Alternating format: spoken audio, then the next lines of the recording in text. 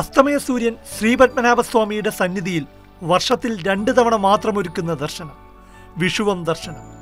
ഗോപുരവാതിലുകളിലൂടെ നേർരേഖയിൽ കടലിലേക്ക് താഴുന്ന സൂര്യബിംബം ജ്വലിക്കുന്ന ദീപം പോലെ കിഴക്കേ ഗോപുരം സൂര്യപ്രഭയിലായ അപൂർവ ദിനം.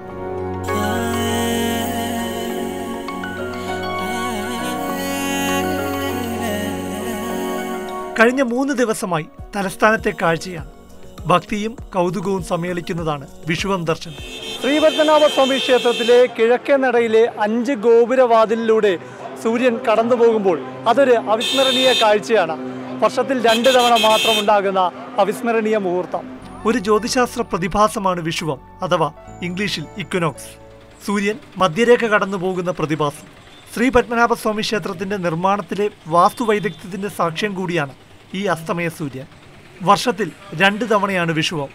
ഇനി മാർച്ച് മാസത്തിൽ. ക്യാമറമാൻ പ്രേം ശശിക്കൊപ്പം പ്രശാന്ത് കൃഷ്ണ മാതൃഭൂമി ന്യൂസ് തിരുവനന്തപുരം.